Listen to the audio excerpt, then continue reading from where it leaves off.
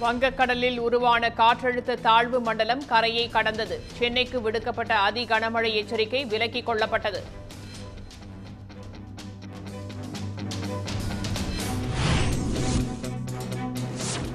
காற்றழுத்த தாழ்வு மண்டலம் வலுவிழந்ததால் நாளை முதல் படிப்படியாக மழை குறையும். சென்னை உள்ளிட்ட ஐந்து மாவட்டங்களில் தரைக்காற்று வீசும் என வானிலை ஆய்வு மையம் தகவல்.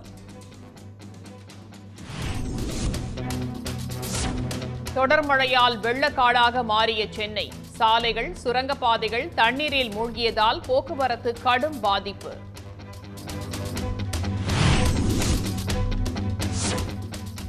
தாம்பரம் சுற்று வட்டாரத்தில் கொட்டிய கனமழையால் குடியிருப்புகளை தண்ணீர் சூழ்ந்தது. மழைநீரில் சிக்கியவர்கள் படகுகள் மூலம் பத்திரமாக மீட்பு. வெள்ள நிவாரண பணிகளை துரிதப்படுத்த வேண்டும். அமைச்சர்கள் மற்றும் மாவட்ட சிறப்பு அலுவலர்களுக்கு முதலமைச்சர் உத்தரவு.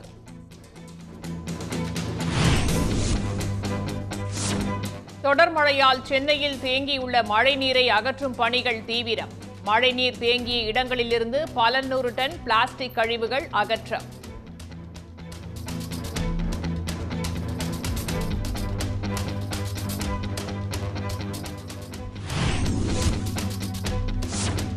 சென்னை திருவள்ளூர் காஞ்சிபுரம் செங்கல்பட்டு திருவண்ணாமலை மாவட்டங்களில் நாளை பள்ளி கல்லூரிகளுக்கு விடுமுறை. கடலூர் விழுப்புரம் ராணிப்பேட்டை மாவட்டங்களில் பள்ளிகளுக்கு மட்டும் விடுமுறை அறிவிப்பு. குரோம்பேட்டை அரசு மருத்துவமனையில் மழைநீர் புகுந்தது. மருத்துவமனையில் சிகிச்சையில் இருந்த நோயாளிகள் பத்திரமாக வெளியேற்றம்.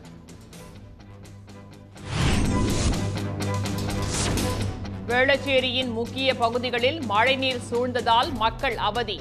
மழைநீரிலிருந்து பாதுகாக்க கார்களை மேம்பாலத்தில் நிறுத்தும் வாகன ஓட்டிகள்.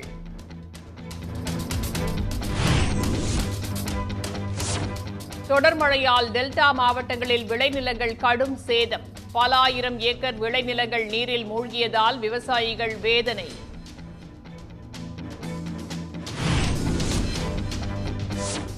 பருவமழையால் ஏற்பட்டுள்ள பயிர் சேதங்களை கணக்கிட அமைச்சர்கள் குழுவை அமைத்து முதலமைச்சர் உத்தரவு.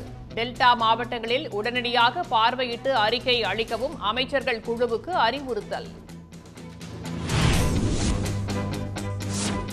இறந்து கிடப்பதாக கூறப்பட்ட இளைஞரை தோளில் சுமந்து காப்பாற்றிய காவல் ஆய்வாளர். சென்னையில் மீட்பு பணியின் போது வெளிப்பட்ட மனித நேயத்திற்கு குவியும் பாராட்டுகள்.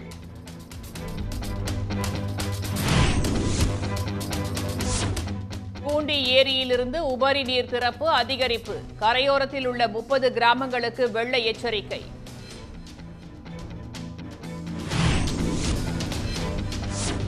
அதிகாரத்தை நோக்கி எழுப்பிய கேள்வியை பெயர் அரசியலுக்கு சுருக்க வேண்டாம்.